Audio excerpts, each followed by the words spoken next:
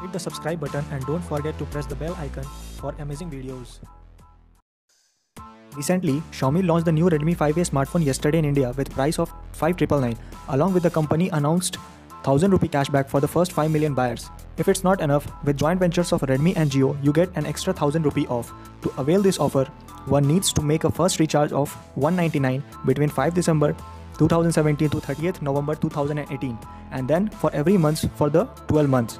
At the end of the year, they will get an extra cashback of 1000 rupee in the form of recharge vouchers. So guys, for more tech news, please subscribe to my channel. Thank you.